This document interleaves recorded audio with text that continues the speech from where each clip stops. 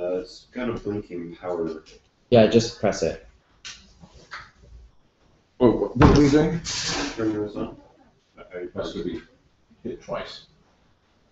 There we go.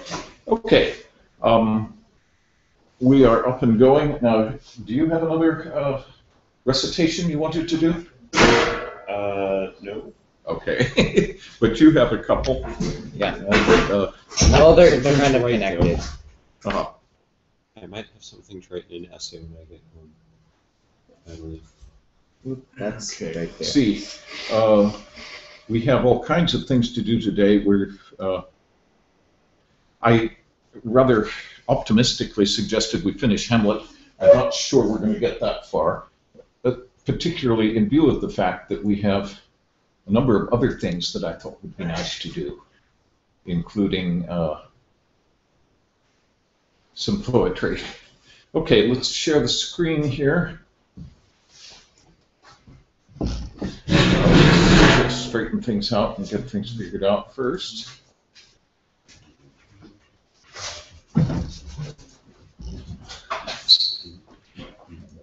Screen share. Yes, thank you. Is that fine? That looks pretty good. Thank you. If necessary. Let's turn that one off, perhaps. And we'll all see things a little bit better. Okay.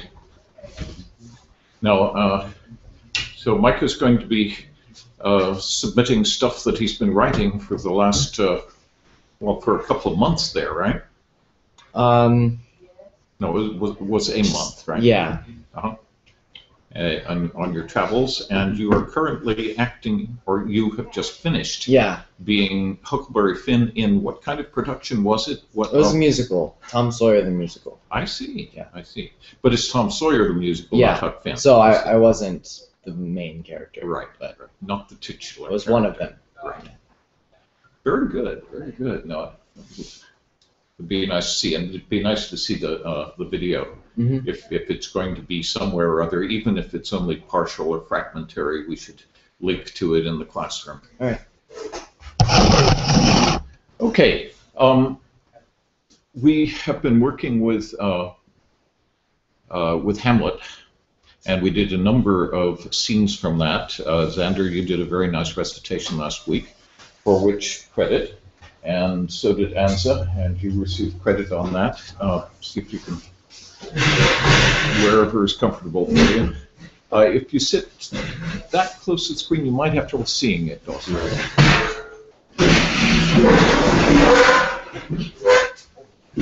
Okay, we are off and going.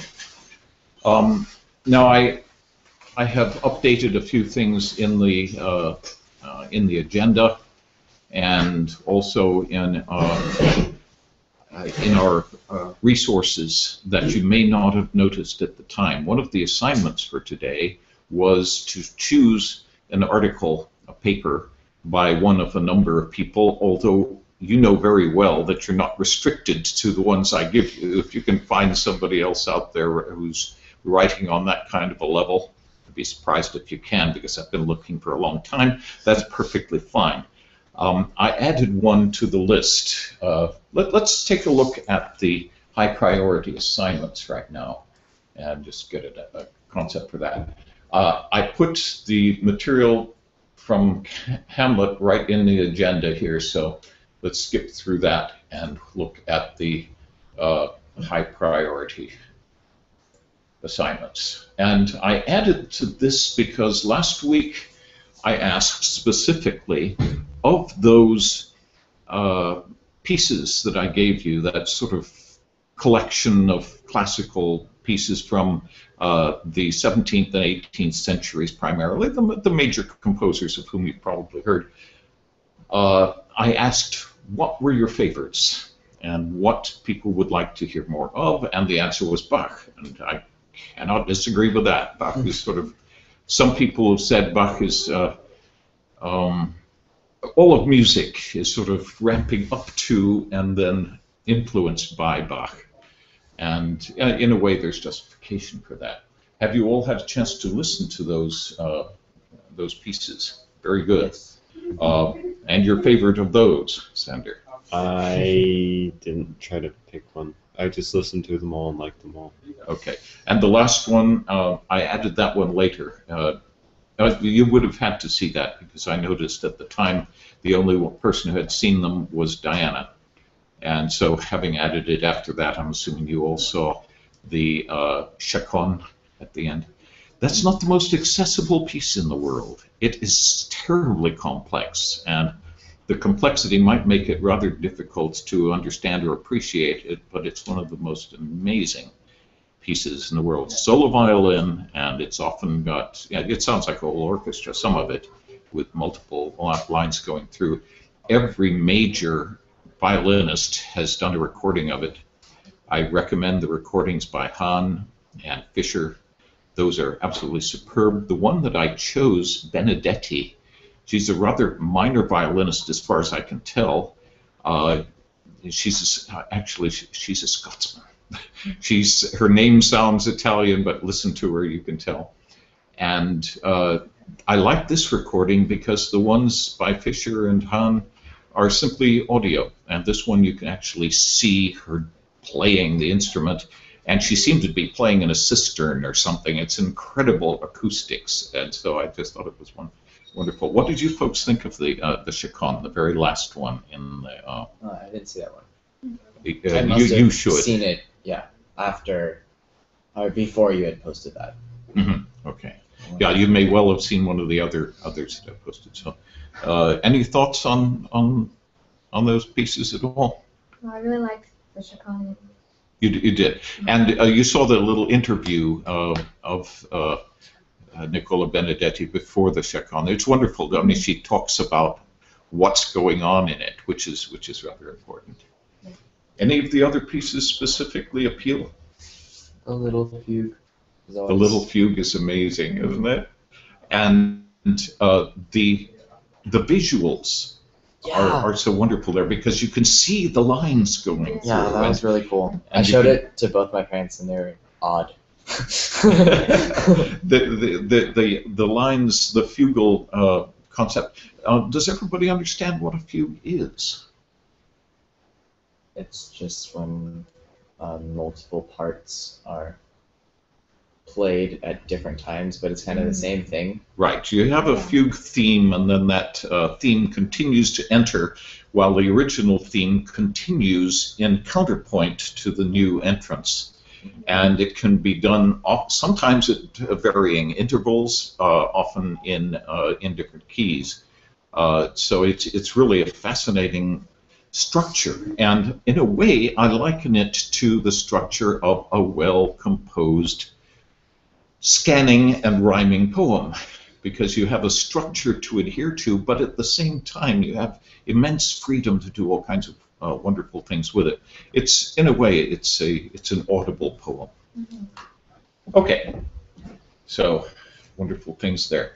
Uh, please choose an article. I added Miller later, and he uh, I don't think he went out in the uh, in the version that was sent out to the class but I, I wasn't really sure that he had written much in the way of articles and papers. He's written a number of books and is, is certainly responsible for the production of a number of uh, uh, operas and Shakespeare productions, as well as doing all kinds of other wonderful things. But uh, his language is consistently superb.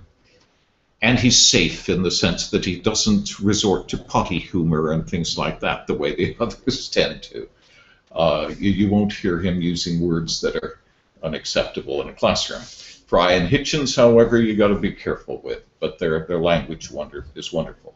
Fisk does not either, but then Fisk only talks about the Middle East most of the time, and it's all political. Uh, Eagleton, you've seen some of Eagleton already. He's he's an odd bird, but listen to his language. Um, in Fry's uh, book on poetry, which I think you've all looked at because we had it in the classroom. In the uh, appendix at the end, he g- gives a note, a lot of other resources, and at one point in the appendix, he says, "and anything Eagleton writes." And Berlinski, wonderful.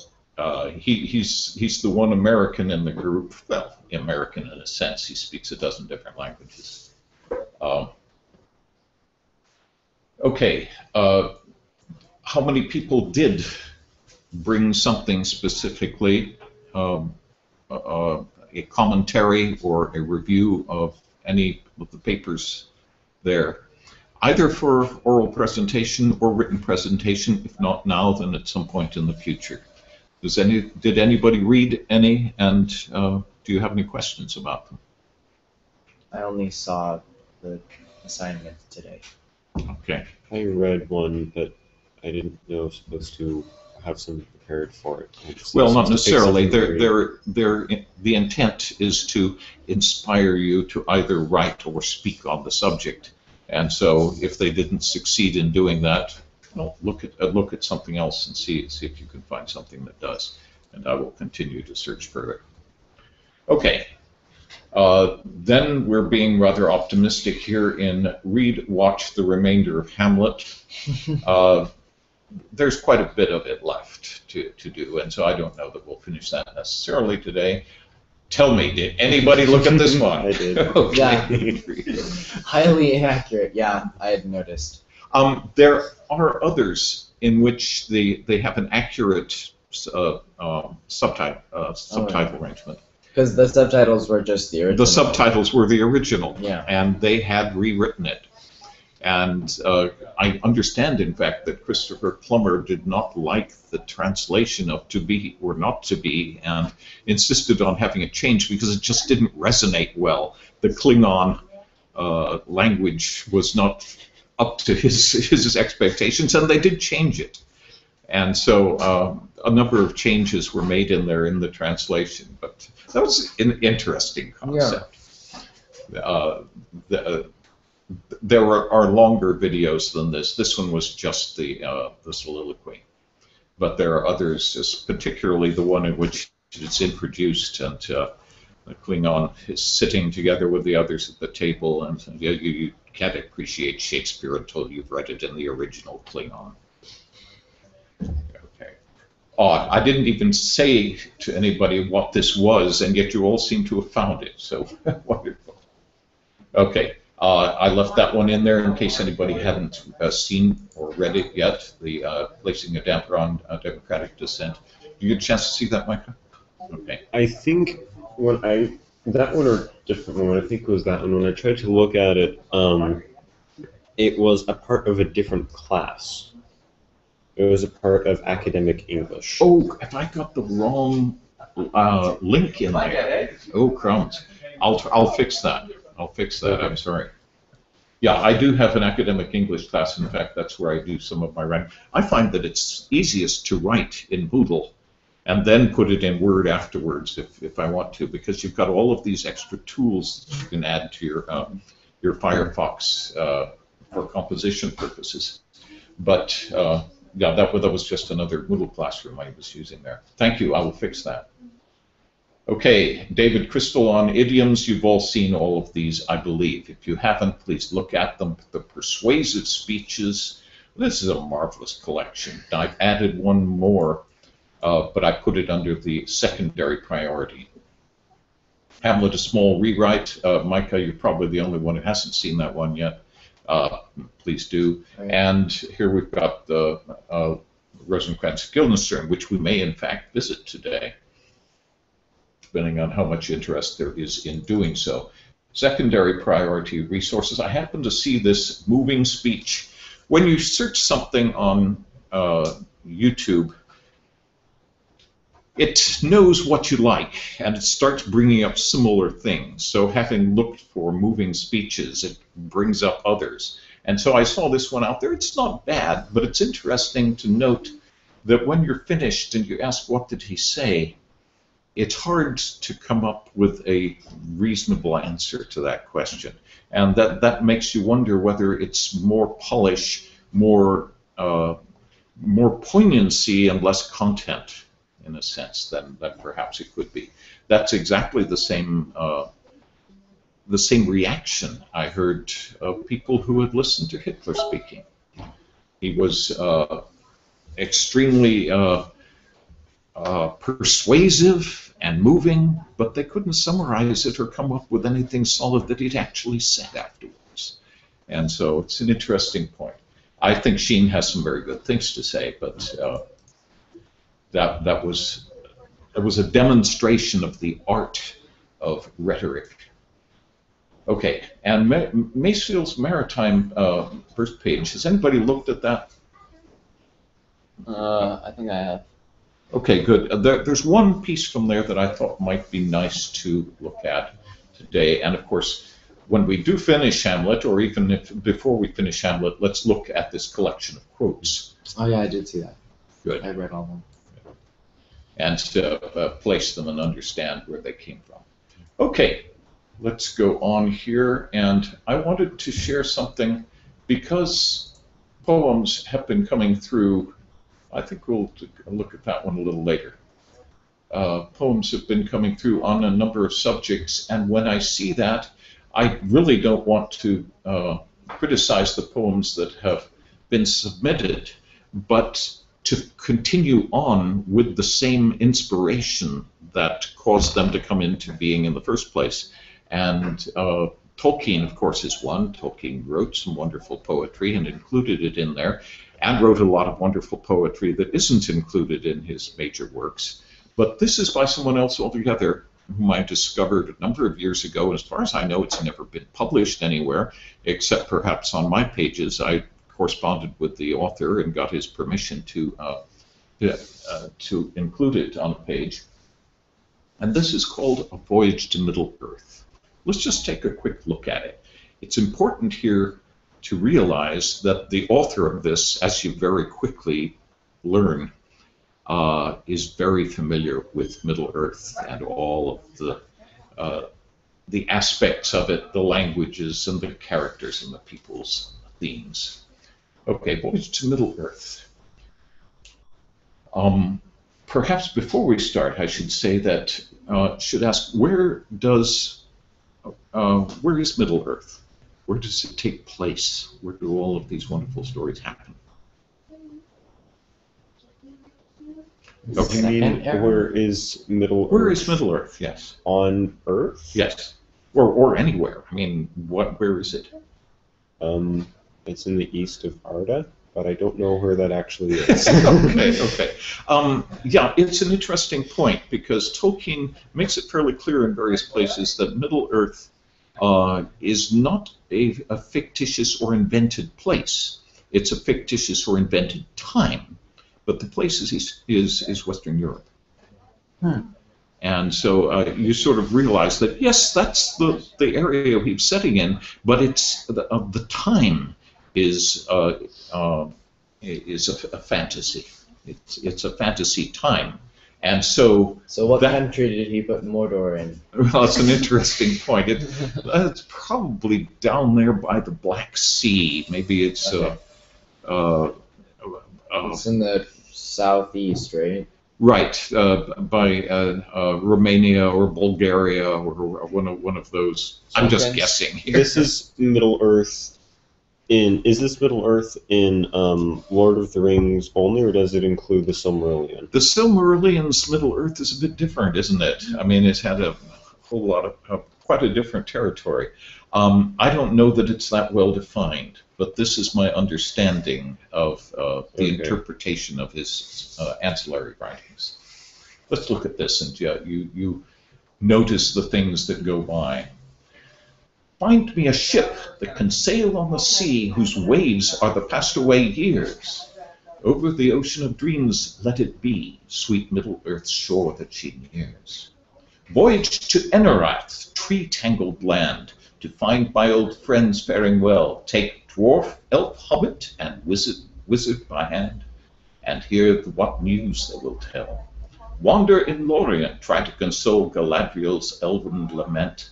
Party with Bombadil, merry old soul, at leisure converse with an ent.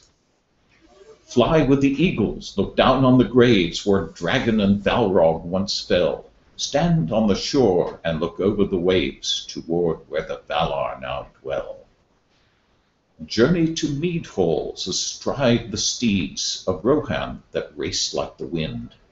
Hark to the harpers, and hear of the deeds of those who sought virtue or sinned. Listen to lore of the long ago times before Sauron dared to attack. Hear how his creatures accomplished his crimes, and how the free folk fought him back. Join in the praise of the courage they showed by facing the fear, fell, fearsome foe. Joy in the peace and the wisdom uh, bestowed. Sorry, joy in the peace and the freedom bestowed on good folk to flourish, flourish and grow. Let me sing with them the songs of the quest, the heroes, the brave and the fair. Let me hear legends of Middle Earth's best, but most of all, let me be there. Now, this is this is well constructed. Do you see see what I mean? One of the things you can see here very clearly is he started with the last line. That's where he wanted to end. That's where he wanted to land and he led up to it and found it beautifully. And despite my fumbling around here, we've got these wonderful little clumps of alliteration, the fell, fearsome foe, for example, and every syllable almost is in the right place. You'll notice I left a couple out because it worked better that way. um, astride on the steeds. It didn't work. I, I, I don't regard that phrase as particularly good, and you don't need all those syllables. So it could be fixed. Anyway, um, do you understand all of the references in here? Yes. Well, not Valar. Okay, the, the Valar, of course. The Valar are um, Are basically that's the the one thing from the Silmarillion. Okay, Yeah. yeah, They're Right. like the gods, basically. They basically. live in the west. Valinor is, is the, the country of the gods that was at one time accessible to the west, but uh, the but that was before the, the oceans uh, were, were curved, and uh, that that was done so that they could no longer be accessible after that point. Interesting idea, and that's where, in fact, the uh, the Noldorin elves came from when they came to uh, to the web to the uh, to Middle Earth.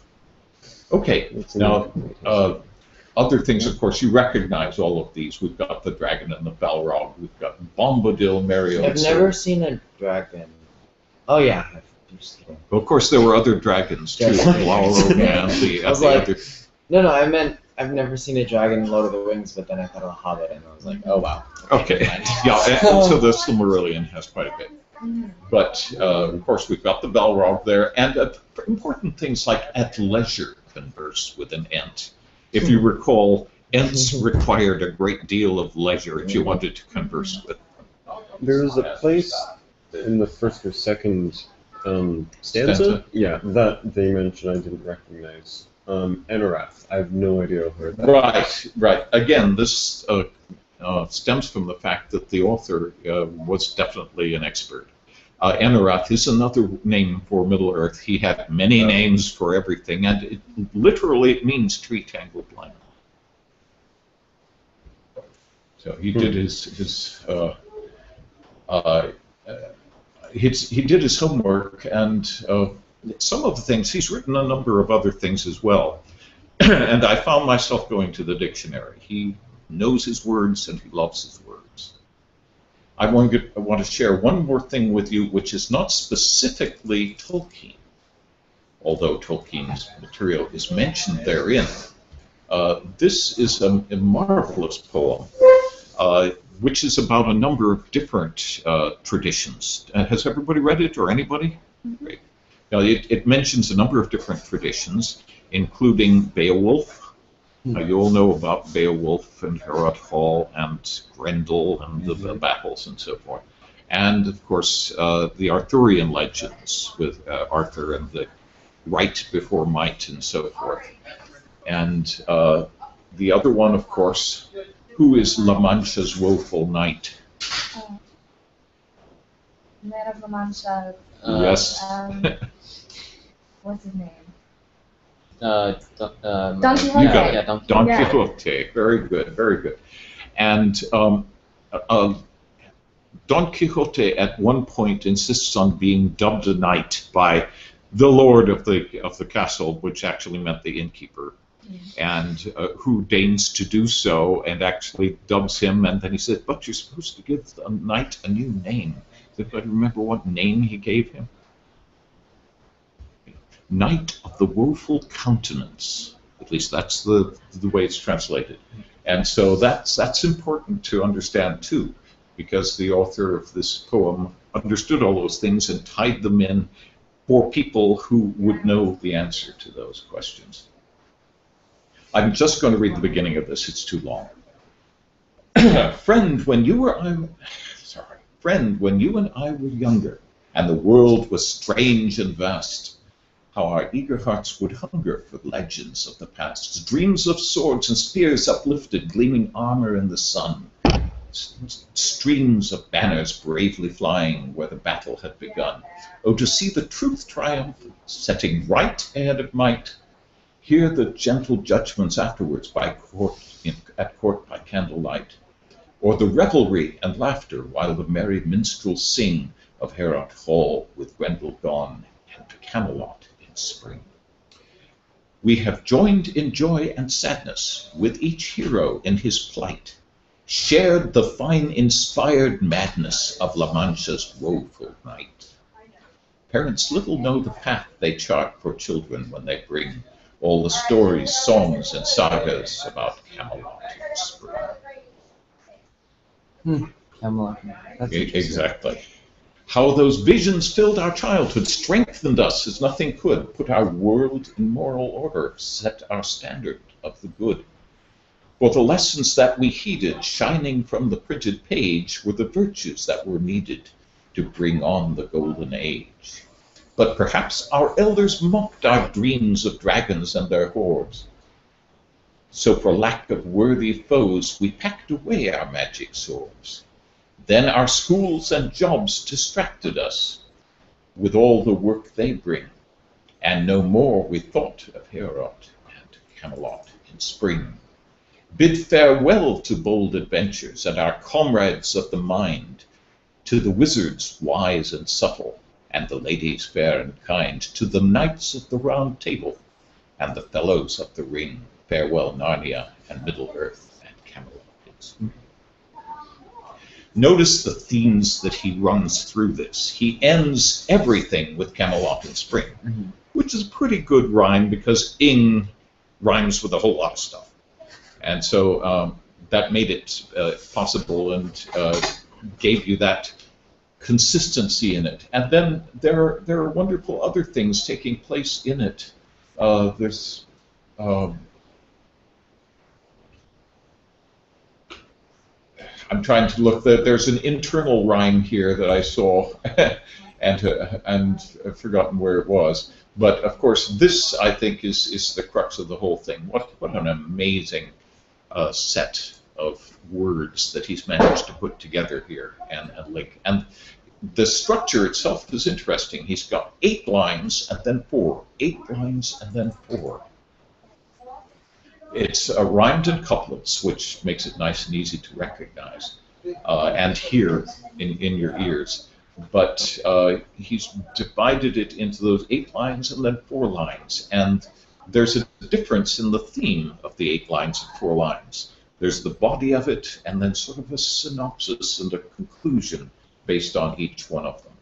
And of course, this line is absolutely amazing. We've joined in joy and sadness with each hero in his plight, shared the fine inspired madness of La Mancha's woeful night. That's that's just just amazing.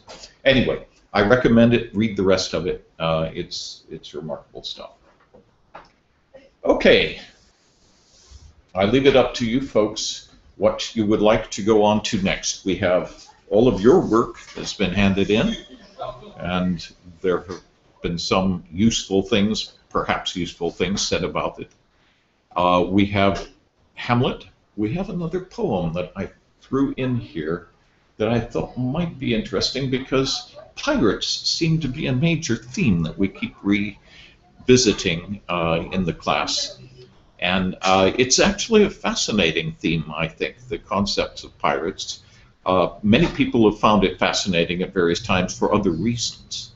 Uh, the reason I regards uh, piracy as rather fascinating is that the pirates uh,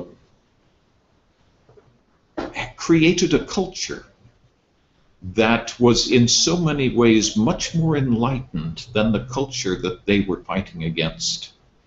The, uh, the culture of the, all of these countries with their navies was based on a caste system and a class system that, uh, as often as not, uh, pressed sailors into service, and there was no opportunity for rising in the ranks. It was thoroughly undemocratic. The uh, the uh, officers were always uh, patricians of some sort. They were members of the aristocracy, and then there were uh, press, press gangs who uh, conscripted the the ordinary sailors.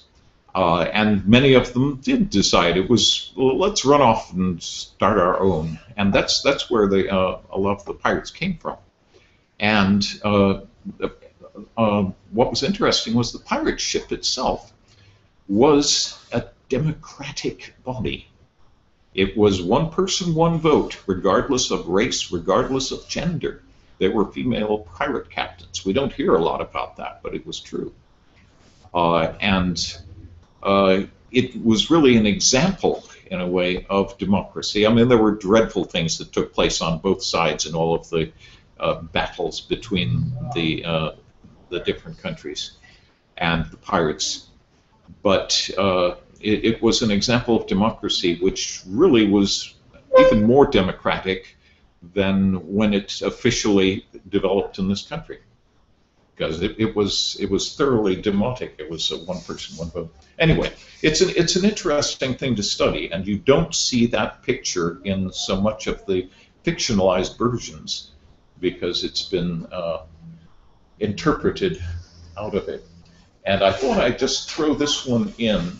Uh, one of my favorite poems is uh, a poet poets is uh, uh, John Masefield and uh, he was poet laureate in England for many years, and wrote largely about the sea, and did so beautifully. And this is one of the options that we can jump into and do right now. So we've got three really.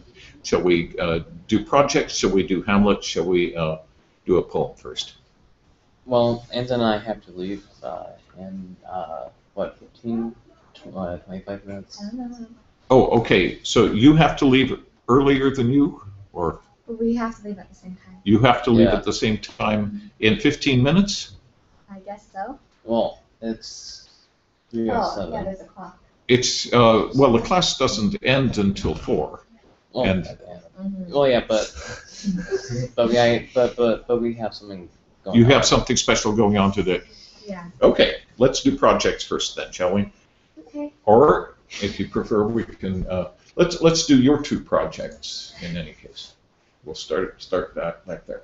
Okay, Dawson, you have expanded upon your piratical uh, uh, peregrinations, if you like. Uh, nicely done, well written. Uh, little things I wanted to change in there. I I enjoyed very much your uh, use of the, the word feral, which is very appropriate. But when you use a word like that, don't use it again.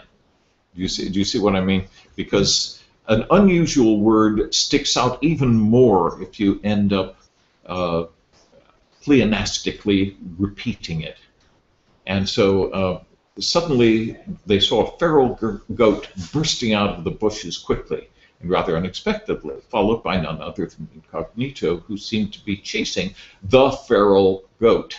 Okay, chasing it would have been fine. Chasing, find something else. The Artiodactyl or the Caprine or Hircine interloper, or I just just suggestions of uh, alternative. It's interesting that goat actually has two adjectival forms that uh, that are unlike the word itself altogether, of course, from various different sources. Okay, nicely done. Nicely I done. think you missed Yeah. something. Where should not have an H. I think. Very possibly. Where are you? Right. Here. Right there where your mouse is, actually. Okay. Last time we That- saw you, absolutely. And that's a typo, I'm sure. Very mm-hmm. good. Good for you.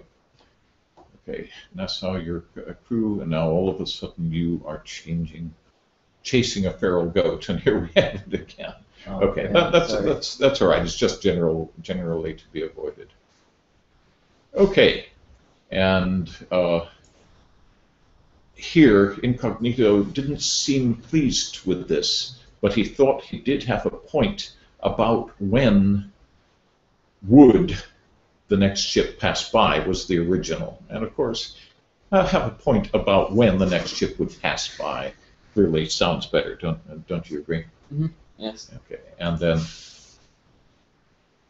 uh, Margarita, without firing a single shot and even capturing, take that word out, a ship of the line, try to keep things parallel. Parallelism is extremely important, and it you, you want the parallelism, parallelism in your ear, and your uh, your readers will recognize uh, when it when it strays. Let's read the whole thing here. Uh, while dining, someone asked Incognito about what he had done as a pirate. Uh, it soon, I would say, became apparent, cer- certainly, that uh, he was rather gifted when it came to the subject, including sacking Margarita without firing a single shot and even capturing a ship of the line. Now, you see, sacking is the first verb. Uh, and these are all under including, including sacking, but we don't have to, don't want to say including had captured. That doesn't work. We want to make sure that everything fits together right. Once you've created the parallelism, keep it parallel throughout. Okay. And uh, this is a nice, uh, just a nice plot device. This this concept of the time travel here that you're working with, and a nice description here. The sea was rough, and the blistering wind was harsh and cold. Nice, very good. Uh, there's repetition going on here. They were now lost in an unknown region of the world. Little was known about this region. I'm sure we can find another word for region so we don't have to uh, repeat it like that. Okay, nicely done. Any questions? No. Okay. Okay, great. Um, okay, Anta. Uh, yeah, the impact of language and the uh, technology's impact on language. Nicely done. One project, note a few problems, and please ask if you don't understand them. Your points are well taken, but it's important to understand that every change in language has been opposed by conservative and atavistic pockets of society. Mm-hmm. I've got to give you a word to look up once in a Oh, while. I did. Did you look it up? Oh, yes. Good for you. Good for you. That's that's wonderful. And those who do attempt to suppress neologisms tend to fail eventually.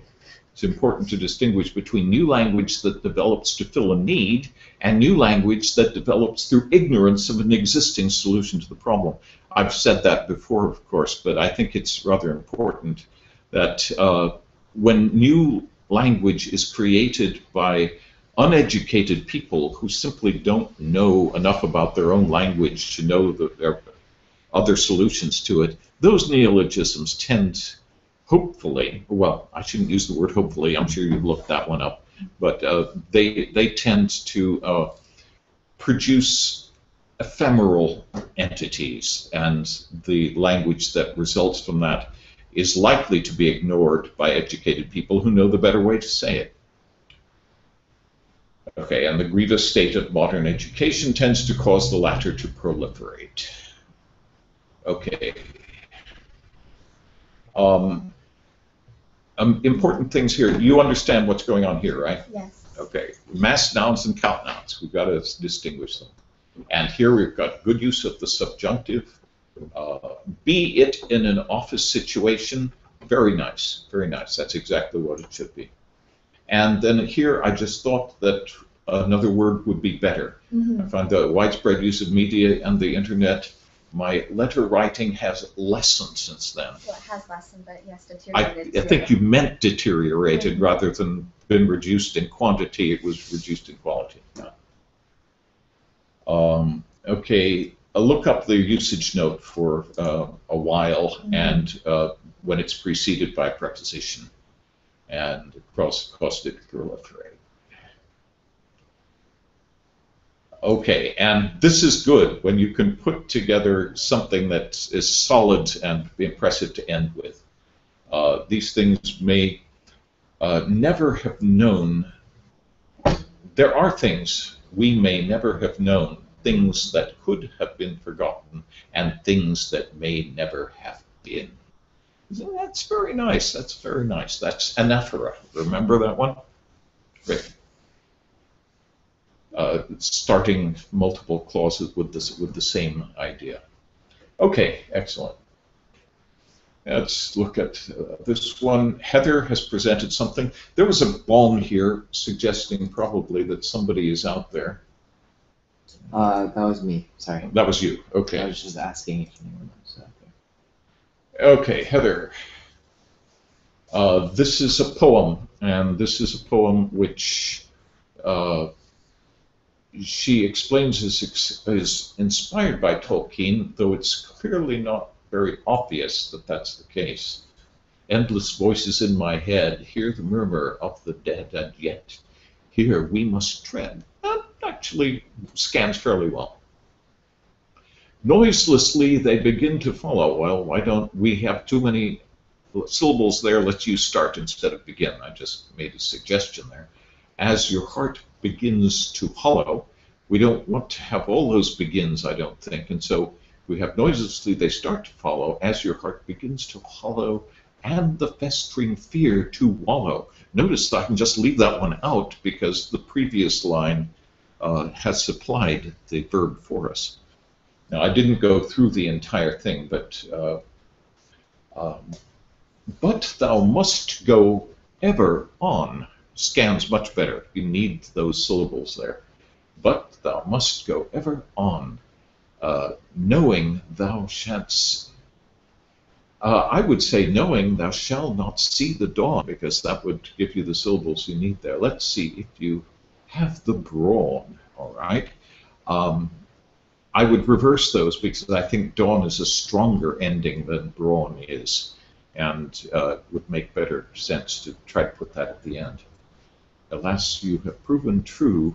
Again, we could add some syllables there to make it work, and I didn't go through the rest of this, but uh, I'm hoping that uh, Heather will look at this and uh, perhaps expand it out and, and uh, repair it a little bit. But that's fine. I love to see uh, poetry attempted. Okay, we have Diana's here. And Diana's been handing in so many interesting things. Uh, nice thinking and research, one project. Oh, note my miss my typo there. okay. Note a few suggestions below, and please post questions if you do not understand. Yes, low-tech solutions, and of course this is a question of whether uh, high-tech solutions or modern solutions are better than old-fashioned ones. Low-tech solutions may well be the best in many instances. However, it's interesting, and this is indeed, I think, interesting, to note that it is within the past century that the most remarkable progress has been made in archery equipment and hand spinning wheels. Centuries after these devices stopped being important mainstays of economy and civilization. Uh, during the many centuries in which they were essential, very little progress was made.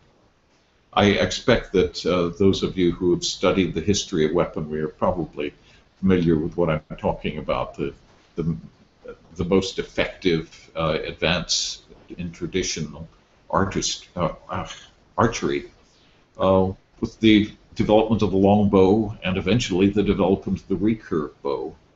But in both cases, if you do a mathematical analysis of uh, the efficacy, they fall very short of the modern uh, compound bow. And uh, one can look at that and then realize, yeah, they relied on these things for centuries, but they never figured out how to do them right. and we only figured those out fairly recently. let's let's look at this a little bit more. Whether or not it makes sense to think of a new solution or use an old one depends on a variety of aspects. I think factors is a clearly better word there than, uh, than aspects. Um, aspects are usually facets or uh, faces of something or other, characteristics of something, a factor would be uh, more appropriate here. Um, interestingly, uh, Diana tends to have difficulties with articles and missing articles where they belong and superfluous articles where they don't. Don't know why. Uh, though uh, that's certainly the case in a number of languages for people coming from certain language backgrounds. Okay, solar ovens allow people to cook food without electricity and combat malnutrition while countering the need for food, perhaps eliminating the need for food. Does that make sense? Okay, you two, I can I can see are are anxious and need to take off for some uh, uh, conflict here. So uh, we will see you next week then. Mhm. Thank you for your contributions. Thank you. We'll be able to go on and that's what we do. I'm sorry, we won't have to, uh, to help us read through Hamlet. Ah, who's, who's there? Oh, there's Diana. Wonderful. Uh, Diana, would you like to do a recitation? А, ну, это, о, тихо.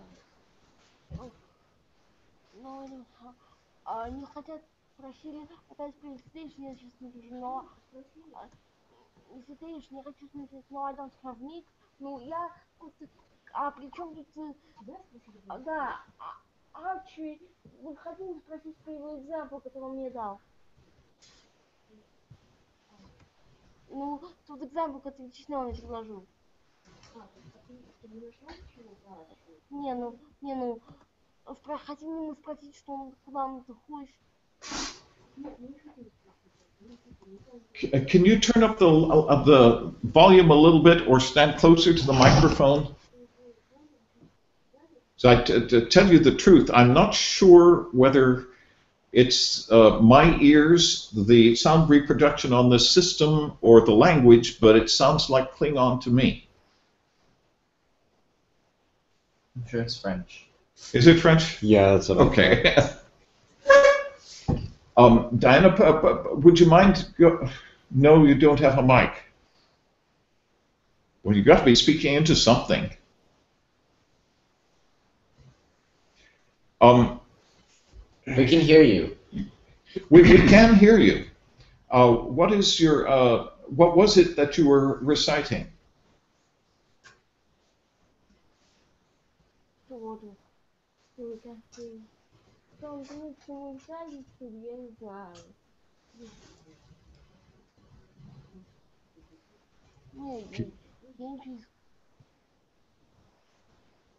I can't hear enough words to А, тихо. Вот они рисуют, он думает, что я рисачу. Э, нет. Э, nothing.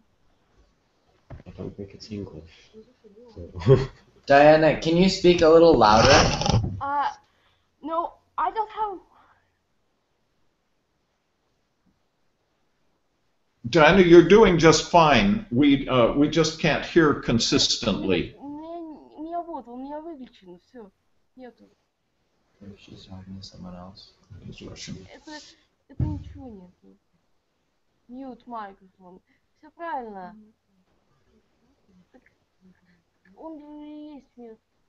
Э, Тут все мьют. Okay, well, uh, Diana, I we can hear you, but not very well. So if you would like to do a recitation, please go right ahead and let us know, and we'll do that. I can see that you're there and when I can type to you. But uh, while you don't want us to hear you, please just uh, turn off your microphone, okay?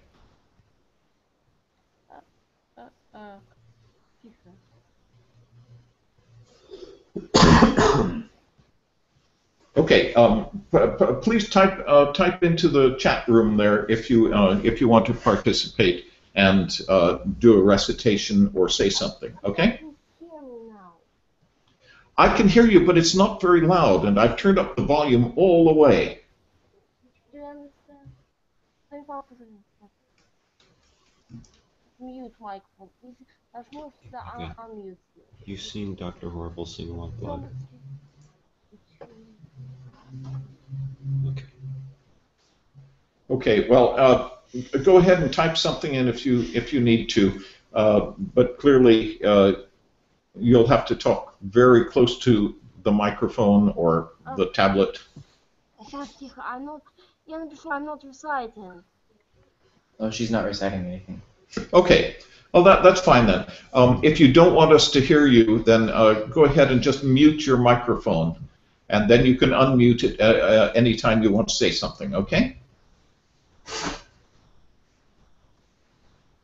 All right. We're going to go back into uh, Diana's request, which was Hamlet.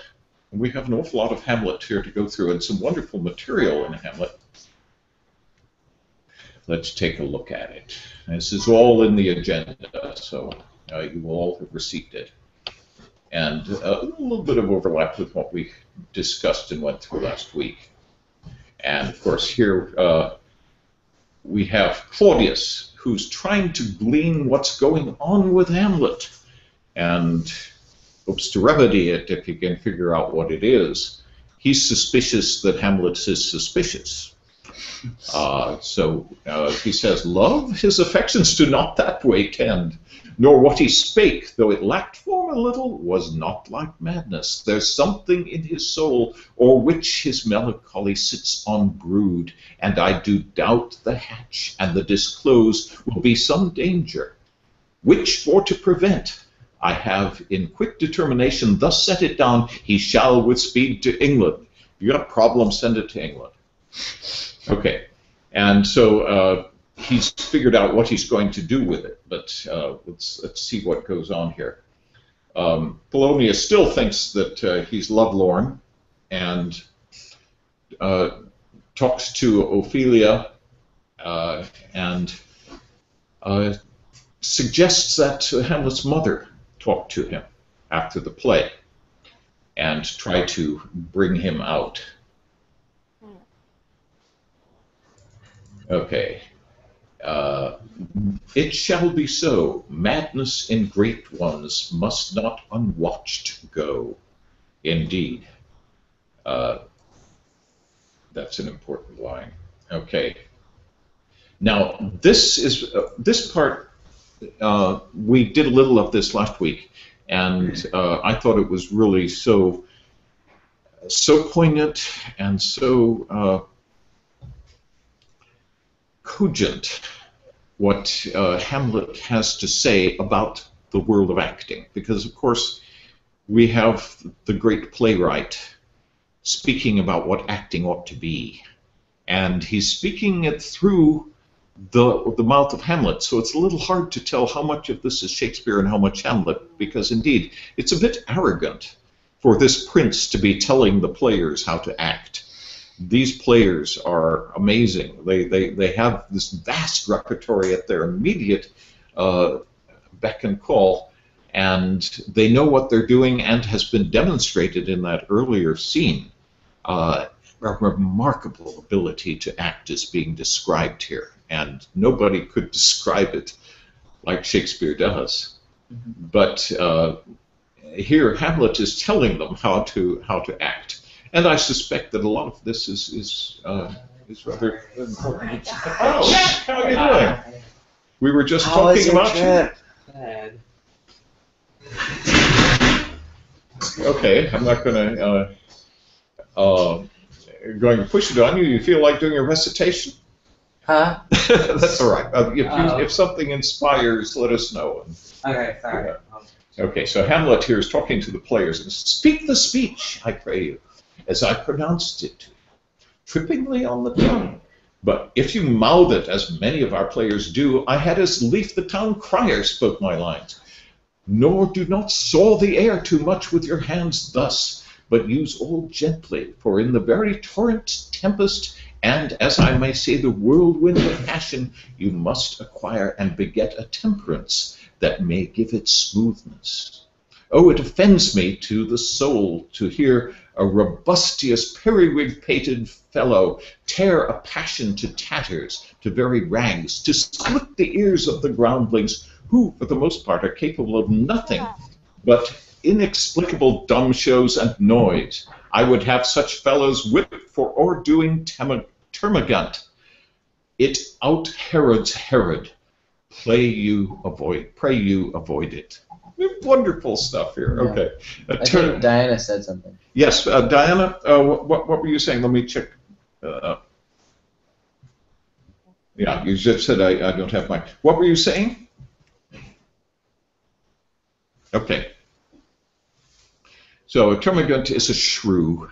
Is there, are there any other words up there that are uh, causing any problem? It's, it's beautifully stated, isn't it? And so he has, he has put down uh, s- some lines to be added to the play. Mhm. And so let, let's let's go on here quickly. Uh, quickly, I- I- be not too tame neither, but let your own discretion be your tutor. Проблема была. Должник доставал, бормотал что-то непонятное, а мать подумала, что я просто что-то говорю. It's Slavic, it's not French. Там говорил, не, ну, ч- нет, ну, что-то понятное по- сказала, а Майк что-то не понял, и решил, вот. А я вс- м, быстренько стала кричать, знаете, у меня нет микрофона. Yeah. Uh, Diana, I, I'm afraid that your uh, your your contributions here are not really uh, uh, audible or understandable. Perhaps you could turn off your microphone, otherwise I'll just turn down the sound. Uh, are you there? Probably too much of a delay. I'm going to turn the sound down just, just for the time being. Uh, okay, Diana, uh, if you need to or want to say something, just uh, post something in the in the chat room.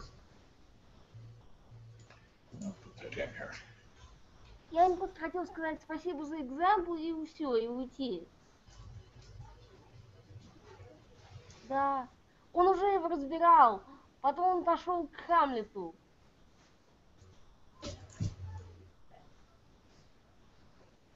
Okay, now why wasn't I able to reduce that volume down? Тогда могу просто уйти из чата даже и пойти в Google This is, okay. So I don't believe that was intended for us. Okay, so he goes on here about uh, how to play. And, and this is beautiful, so let's just look at it quickly. Does somebody else want to read it? Someone ready to cold read some Shakespeare? Sure. Go ahead. Be not too tame, neither. Let your own discretion be your tutor. Suit the action to the word, the word to the action, with this special observance, that you overstep not the modesty of nature, for anything so overdone is from the purpose of playing, whose end, both at first and now, was and is to hold as 'twere the mirror up to nature, to show virtue her own feature, scorn her own image, and the very age and body of the time of his form and pleasure. Pressure. Now this overdone or come tardy off, though it make the unskilful laugh, cannot but make the judicious grieve. The censure of which of the which mu- one must in your allowance overweigh a whole theatre of others. Oh, there be players that I have seen play and heard others praise, and that highly, not to speak of it profanely, that neither having the accent of Christians, nor the gait of Christian, pagan, nor man, have so strutted and bellowed that I have thought some of nature's journeymen have made men and not made them well. They in- imitated humanity so abominably. Abominably. Nicely done. Not, not nice RP. Okay. Now, here we go on to the next uh, next little bit. This is just up here, uh, not so much for the language as for the plot.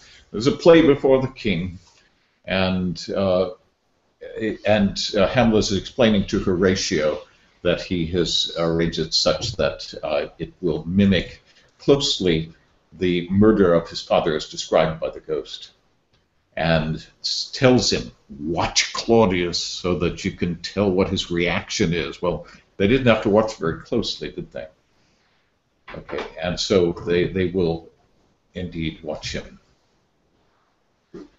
Okay, what uh, should a man do but be merry? For look you, how cheerfully my mother looks, and my father died within two hours. Ophelia responds, Nay, 'tis twice two months, lord.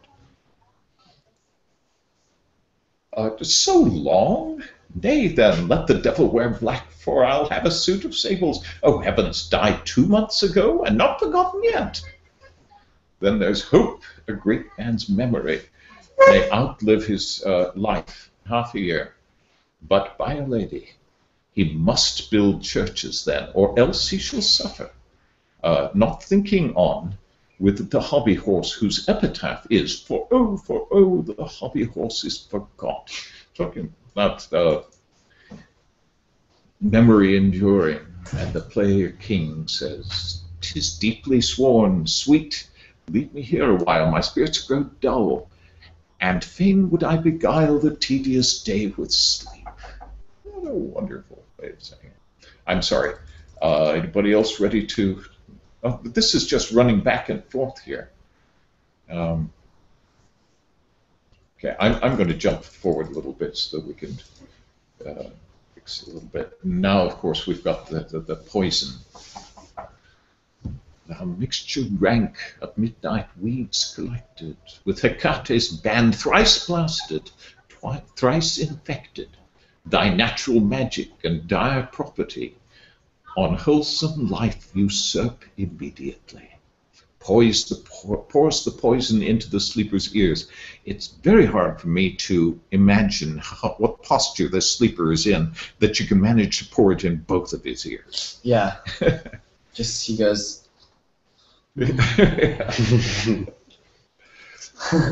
He poisoned the garden for Or its sake, and Hamlet is ears on one explaining this.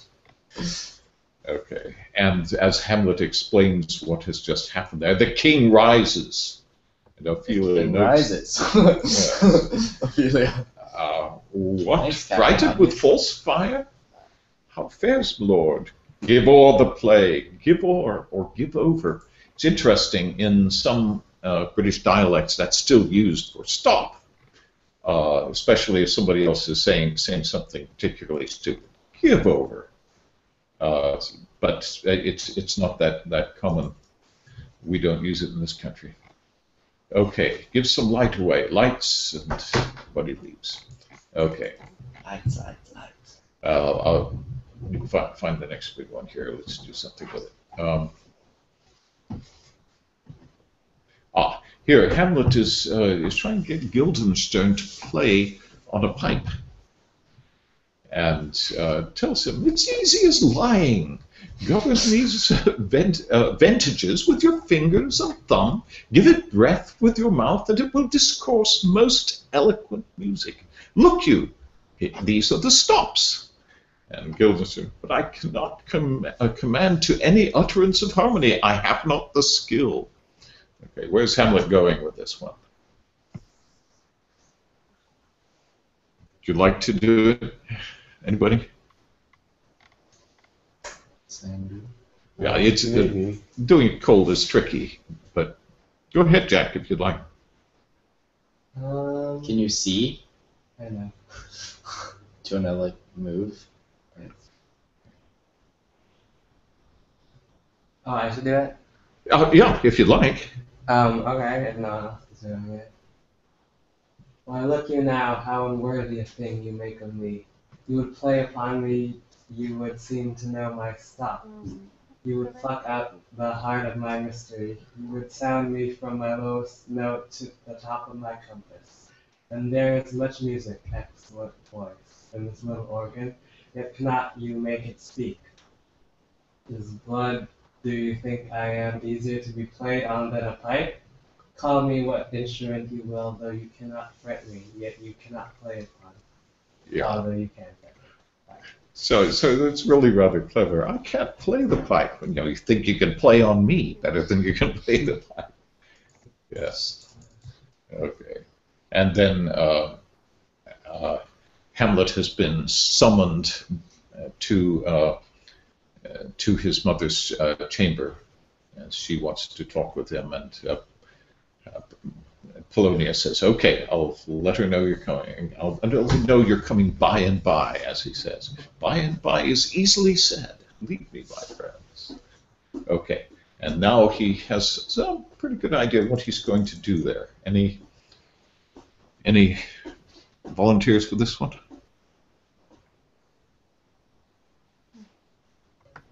Sure.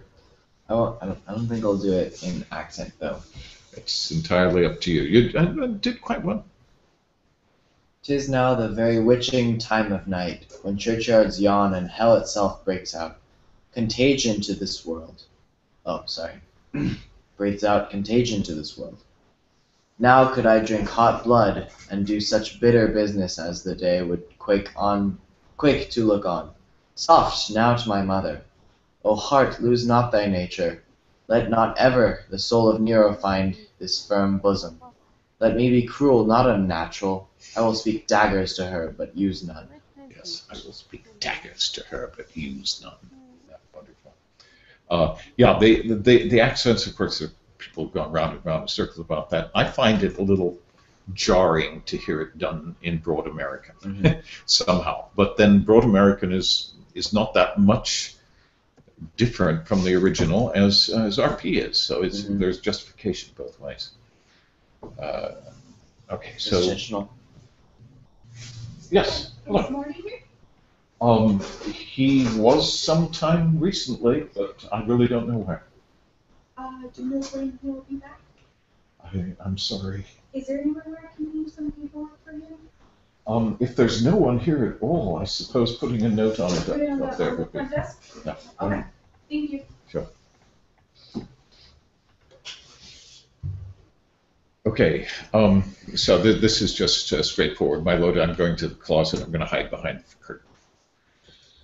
Okay, and then we have this wonderful thing here. Who's up for this one? Do you remember seeing uh, uh, Patrick Stewart do this in the movie? Uh, watch that movie. You'll enjoy it. He does a wonderful job of it. Uh, let, us just go through this because it's important to understand what's happening in Claudius's head. Uh, Claudius, Before or after he stabs Polonius?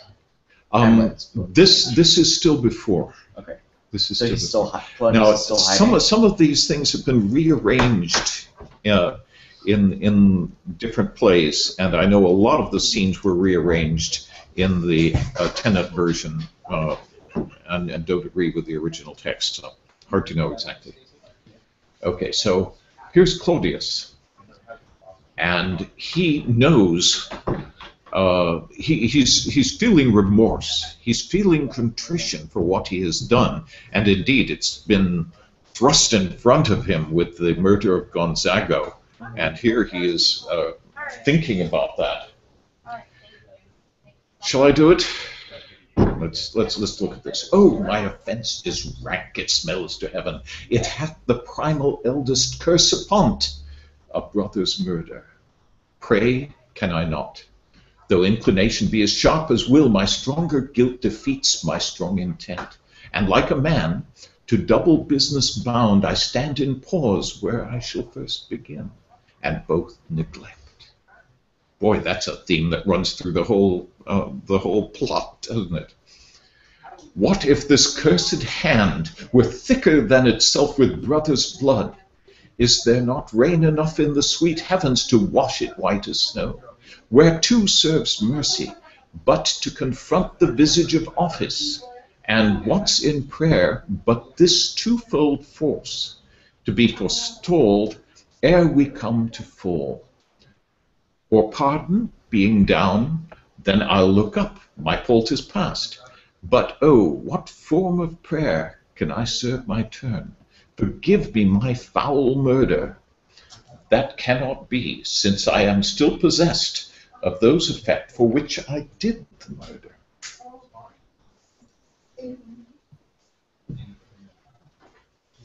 My crown, my own ambition, and my queen.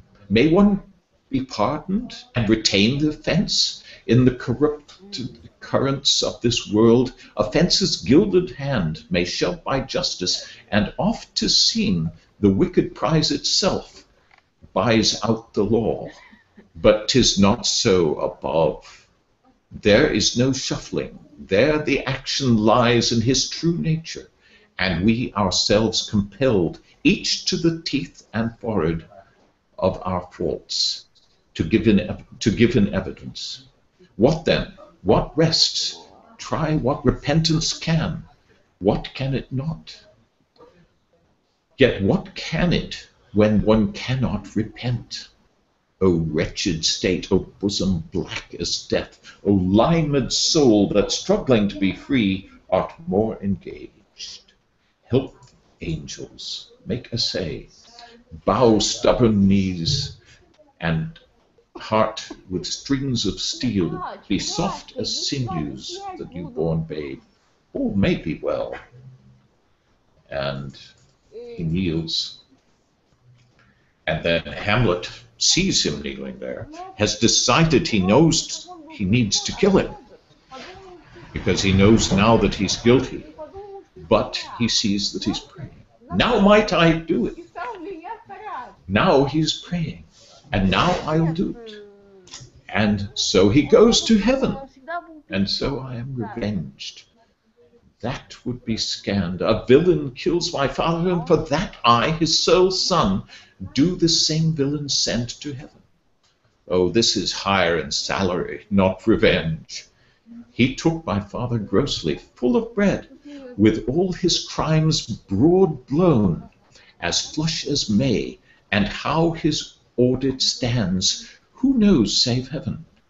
But in our circumstance, in course of thought, 'tis heavy with him, and I am then revenged to take him in the purging of his soul, when he is fit and seasoned for his passage. No, up sword, and no more horrid hint. When he is drunk asleep, or in his rage, or in the incestuous pleasure of his bed, at gaming, swearing, or about some act that has no relish of salvation in it, then trip him, that his heels may kick at heaven, and that his soul may be as damned and black as hell whereto it goes. My mother stays. Pause, pause. My mother stays. This physic but prolongs thy sickly days. Okay. In other words, uh, you've got a brief reprie- reprieve, but that's just going to prolong your illness. And uh, decided now is simply not the time. I'll, t- I'll find a time when. And, and uh, he talks about his father having been killed in some unknown state of repentance. And now he comes in and talks to the, his mother. And uh, boy, he's uh, he really gives it to her, doesn't he? Uh, the, they, they go back and forth. We, we could go uh, through this, to, uh, but you've all read it, I think. Mhm. Uh,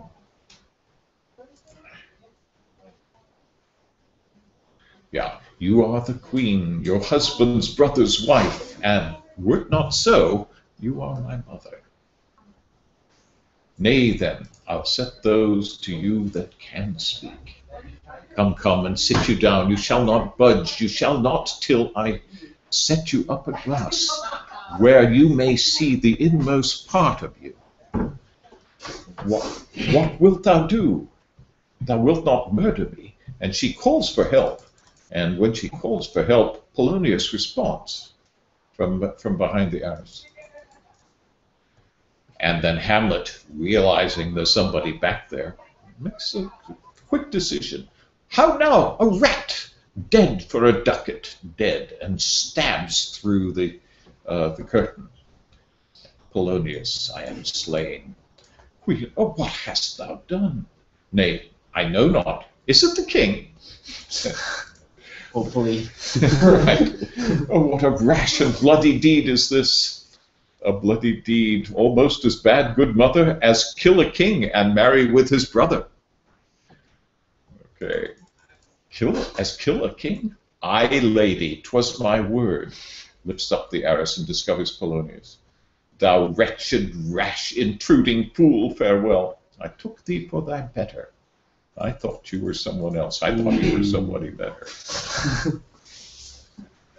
Okay, and then, oh, speak no more. These words like daggers enter in mine ears. No more, sweet Hamlet. Hamlet, a murderer and a villain, a slave that is not twentieth part of the tithe of your uh, precedent lord, a vice of kings, a cut purse of the empire. I think I've, yeah, this this is Hamlet speaking here. I've got the lines messed up. Oh. Yeah, so Hamlet uh, talks about the, the current king, a murderer and a villain, a slave that is not a twentieth part of the tithe of your precedent lord, a I vice of kings, a cut purse of the empire and the ruled. I thought she was just yelling Hamlet. Right, and then the the ghost comes on and says, "This visitation is but to whet thy almost blunted purpose." You know this wonderful uh, metaphor of, of the of the dagger or, the, the the blunted instrument, and telling him to sharpen it. Okay, and then here this is mostly for plot. Uh, the letter to be taken to England has been defined and sealed, and he is going off to England with Rosencrantz and Guildenstern. Uh, where, is it? Uh, the, his two schoolfellows, whom I will trust as I will adders fanged. They bear the mandate, but must sweep my way and marshal me to knavery. Let it work, for 'tis the sport to have the engineer hoist with his own petard, and shall go hard, but I will delve one yard below their minds and blow them at the moon. All right, so they've got this letter that's basically the death warrant for Hamlet. And what, what happens with that? He replaces the letter. He puts another one telling them, uh, kill Rosencrantz and Guildenstern instantly as soon as you open the letter. And so the, this is that they are ho- hoisted So their he- own petard. So uh, Hamlet ordered their death, right? Hamlet orders the death of Rosencrantz and Guildenstern, indeed, because originally it was his death that was mandated in the letter that was replaced. But he opened the letters and saw. Yeah. yeah. Good night, mother. Okay, now we've got all of this uh, stuff with these these uh, Cockney grave diggers as uh, as it's described. Did you get a chance to see Hamlet's small rewrite? No. Okay, that that's was- also in there. Take Okay. take a look at that. You'll enjoy it. Okay. And so, of course, he comes upon the grave diggers after he's managed to escape with the help of pirates and uh, uh, and uh, so forth. Uh, he manages to make his way back and talk to Horatio, and he finds these uh, grave diggers. Oh, this is where I was gonna start my recitation. Oh, okay. You uh, you tell me where you'd like to start. Uh, is it here? Um, sure. This is Laertes. Yeah, I was just gonna go from here to the end. I mean, not not the end, the end of the play, but the where you um, Okay. where now- where um af, af, right after Hamlet dies. Oh, okay. Is that too much? No, no. Uh, uh, by all means. In fact, that's so close to the end. I, I've skipped all uh, all of the uh, material leading up to the play and Osric and all of that lot, and now uh, uh, up Because to you, the you had skipped um, some stuff in, between those. Also, Right. Uh, there's a lot skipped in here. I just I just chose these rather uh, Mhm. capriciously, Right. and so uh, I, I hope it uh, it manages to provide enough plot so we can figure out where things are. But suddenly uh, we're at the uh, um, the fencing match. Yeah. The duel. Um, uh, go ahead. Choose choose a part, or you can do Yeah. both. Which of you? Um, do you guys do Do you, do you want to? I, I was just gonna do all of them, but Go, go ahead. okay. Do you guys want to do something, or do you care? I, I, I don't see an enormous amount of enthusiasm on this side. Okay. Oh villainy! Ho! Let the door be locked. Treachery! Seek it out. It is here, Hamlet. Hamlet, thou art slain. No medicine in the world can do thee good. In thee there is not half an hour of life. The treacherous instrument is in my hand. Unabated and envenomed, the foul practice hath turned itself on me. Lo, here I lie, never to rise again. My mother's poisoned, I can no more. The king, the king's to blame. The point in venom too, then venom to thy work. Ah, treason, treason. oh, yet defend me, friends, I am but hurt. Here, thou insensuous, murderous, damned Dane, drink off this potion. Is thy union here? Follow my mother. He is justly served. It is a poison tempered by himself. Exchange forgiveness with me, noble Hamlet. Mine and my father's death come not upon thee, nor thine on me. Heaven make free, make thee free of it. I follow thee. I am dead, Horatio. Wretched queen, adieu. You, you look that pale and tremble at this chance, that there are but mutes or audience to this act. Had I but time, as this is fell sergeant death is strict in his arrest. Oh, I could tell you, but let it be. Horatio, I am dead. Thou livest. Report me in my cause aright to the unsatisfied. Oh, I die, Horatio. The potent poison quite o'er- o'ercrows my spirit. I cannot live to hear the news from England, but I do prophesy the election lights. On Fortinbras, he has my dying voice. So tell him with the occurrence, more or less, which I have solicited. Solicited. The rest is silence. Silence. Oh, cracks a noble heart. Good night, sweet prince, and flights of angels sing thee to thy rest. Very nicely done. Yeah. There, there are so many little words in there. One of the trickiest parts of doing an accent is trying to get all of the words equal, which I find I stumble over all the time because I'm not decided exactly which uh, which way I'm going to do it. Yeah. But uh, you you want to try to get all of the uh, all of the open A's uh, open, and you only miss one as far as I can tell. Alright. And most most of it uh, very nicely done. Any questions at all? We we've finished up Hamlet, and I I don't see a, a, a enormous amount of enthusiasm. um, I think it was wonderful. It, it's uh, it's an amazing place, isn't it? It's it's so so remarkable. Never had any experience with it before. You, you haven't. No. Uh, it's we, we really should uh, find some things and read them together. I think. Uh, There's a you- kind of humorous, very short synopsis of Hamlet in Tom Sawyer the musical. oh, that's right. where, there is, where Tom there? is uh, he's telling Huck about um, about it. It's, of course, it's completely off, Yeah. but it's funny and it's it's he Right, just it's- gets a little of the he sticks poison down his ear. yeah, yeah. There's uh, a lot of reference to uh, to literature in uh, actually more in Huck, Huckleberry Finn Mm. than in Tom Sawyer Yeah. at the at the end there. Uh, yeah. But Tom Tom Sawyer has a lot of Robin Hood in it Mhm. because that that's their favorite game to play and that's his favorite book and all that. Very good. Okay, let's uh, let's decide what you would like to do more of for next time. We still have this poem here if anybody's interested. Any interest in a pirate poet poem? No. No. Okay.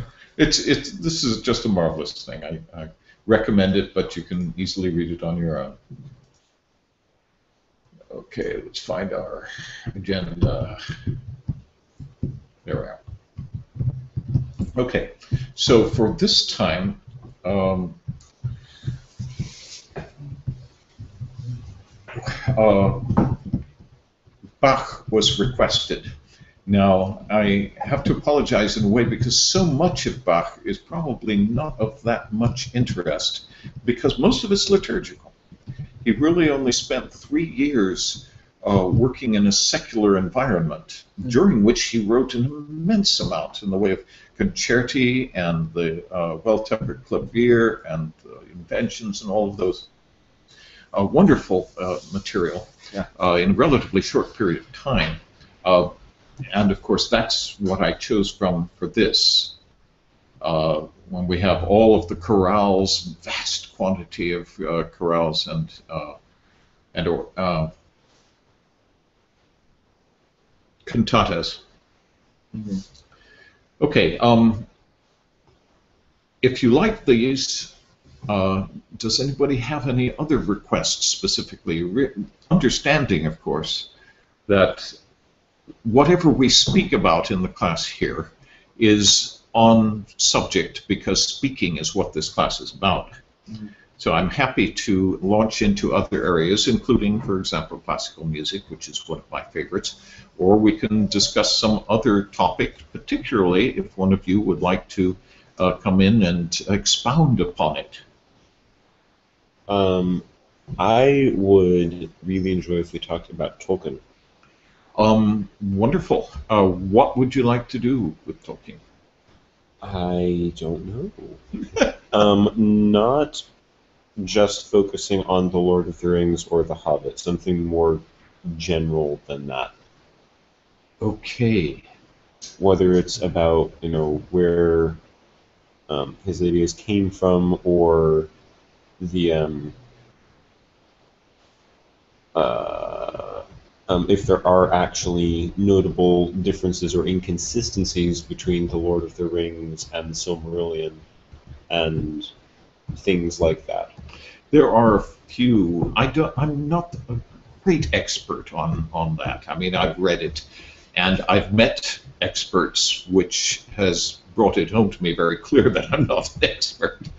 Um, but uh, I invite you to do some research on your own. There are some wonderful sites online. The people who are uh, truly enthusiastic and have researched deeply into these and know every word that exists in Elvish, all uh, all flavors, all dialects of Elvish, um, have put much of this material online.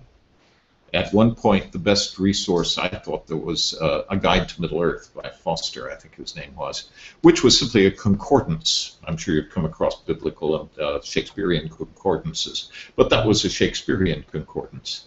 But that's not really necessary anymore because so much of that material um, that was wonderful uh, to have a concordance to find these things. It's not necessary anymore. You just you Google it and you find it. But uh, have you ever used a biblical concordance or a Shakespearean concordance?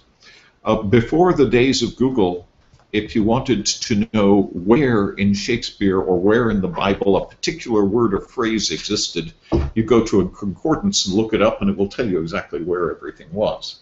Uh, this couldn't feasibly be done with every book in the world, but with uh, the Bible and Shakespeare, it was done. Uh, and that's what this work served. That's the purpose this work served as far as Tolkien was concerned. But now, of course, there's so many other sites, and I'm afraid I'm not even an expert on what they all are. Would you like to find some for us? Um. No. Um, I'm not actually sure where I would look, and I'm not sure which sources I could trust as being good. Good point. Um, am not. I'm actually very bad at that kind of research. maybe it's something we've got to practice a little bit. Um, let's do some together then, or at least I'll do some and I'll, I'll, I'll send you some material on it. I think probably the, uh, one of the best places to start is Wikipedia. Because although uh, Wikipedia is a mixed bag and is written by all kinds of different people, the people who are likely to post and contribute material to Wikipedia are likely to be the ones who are fanatically fascinated with the material. Mhm. And there are a lot of those. And so we will look at the differences between Noldorin and Sindarin and uh, the contradictions, uh, and indeed there are some contradictions between the Lord of the Rings and the Silmarillion, specifically references to uh, Gondolin. Uh, he, he changed his thoughts about the fall of Gondolin, if I recall correctly. There's actually a website on like kind of verifying the. I mean, not verifying Wikipedia, but like that it makes it good to see. Um, it's it's a real time, maybe Flash program or something, and it's a web it's a website, but it shows you what pages are being edited in real time, Mhm. Being updated, Mhm. and it also shows um, like how big the change is. Mhm. So it'll show like how many words. That's a nice idea. So because um, it was pretty most cool. of the time I find the and content. it's they're popping up like every second. No, that, that will be interesting. Uh, Could you post it for us? I, I don't I, I I think Nicholas showed it to me or something. I'll, I'll try and find it. Yeah. Okay, well, in, invite Nicholas to join vicariously. right. is what he's doing.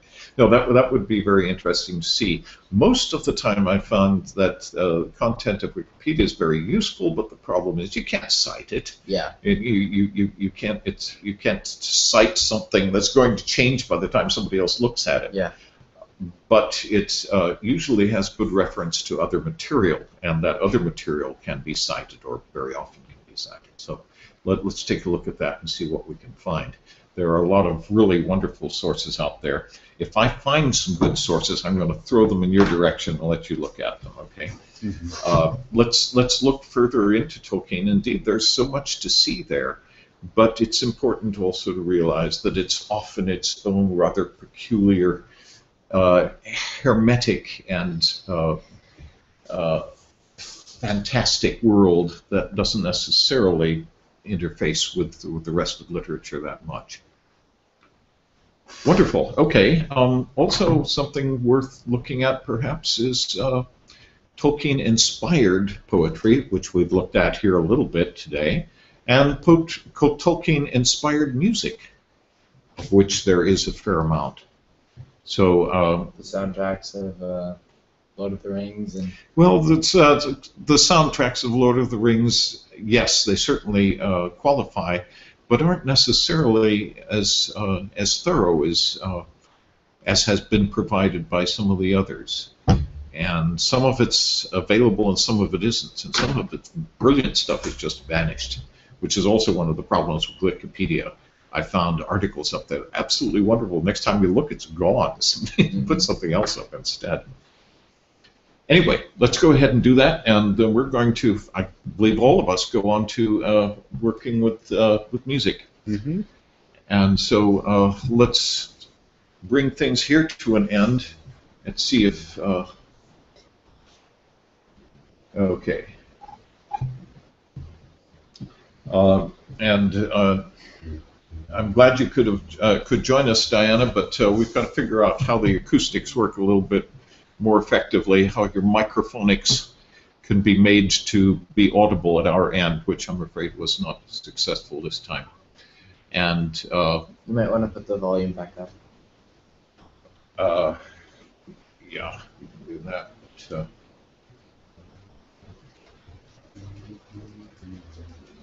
okay.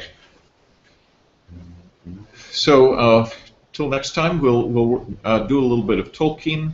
Another question, of course, I have to ask is: uh, anybody interested in another Shakespeare? Midsummer Night's Dream. Midsummer Night's Dream. Um, Yes. I, Jody, them. I would be at least slightly interested. Slightly interested. At What, what, what are your thoughts, Jack? Um, I'm fine with anything, again, because it's always good. Okay, Midsummer Night's Dream is fascinating and wonderful. Uh, Romeo and Juliet is, is, is a marvelous thing too. Our the favorites that we've we've done most on, on a number of occasions are uh, uh, Twelfth Night and As You Like It. Uh, we probably did that when you were in class before, Jack. The Taming of the Shrew is also pretty entertaining. Taming of the Shrew is definitely entertaining, albeit somewhat. Uh, um, uh, what what's the word? politically incorrect. Yeah. so uh, yes, we could cer- we could certainly look in that direction. And there there are some other uh, wonderful things as well. Um, is uh, Midsummer Night's Dream the uh, preference for everybody? I, would- I would like to go into the naming of the Shrew. Okay. Um, I actually don't have much interest in Midsummer Night's Dream, so Taming of Yeah. the Shrew is fine. Okay. I actually know next to nothing about that one, so until I can guess by the name what it's about. Okay. Well, it's it's an interesting one. It's uh, it's, it's a bit demeaning, is what Yeah. it is. And I have a little uh, a discomfort level with uh, with the overall uh, concept of uh, indoctrination and subjugation that uh, that runs through it. But uh, We don't have to do it. I mean, well, I mean, th- th- this is the question whether that, that would be appropriate and uh, whether our uh, uh, uh, female members not present might have raised an objection. Oh, that's a good point. I'm sorry. I said that is a good point. Um, let's see. I, I'm, I'm just I just don't really want to jump into it. If uh, is one of the others you, you're not interested in Midsummer Night's Dream? Jack, do you have any uh, specific thoughts? Um, I'm fine with anything, but if you want, we could just wait and ask if more Yeah. people attend. Okay, yeah, yeah, that makes sense. But idea. if you want to like plan up all that one, like um, sure. Um, How about um? I mean, is Rosencrantz and Guildenstern? I'll tell you what. Why don't Why don't we plan to look at Rosencrantz and Guildenstern are dead for next time? Alright. Yay. Yeah, that that is like Okay, that that's that sounds like something. Uh, Just like something because that's shorter, right? Um, it's it is shorter, and uh, it's well, it's almost everything is shorter than Hamlet. Um, but uh, it has some really wonderful pithy things in it, and I'll just collect those up and let you let you watch the whole thing. The whole thing is on video, and I believe it's uh, findable. And we've got the the full text linked in the uh, in the classroom. So let, let's go ahead and do that, and then we'll uh, choose some excerpts. You choose some excerpts too. I will choose my favorites, and we'll bring them all in. Okay, so uh, we will do that for next time. Any anything in the uh, classical music realm that you would like to uh, like to have added? Um, I, don't know much about Chopin. Chopin.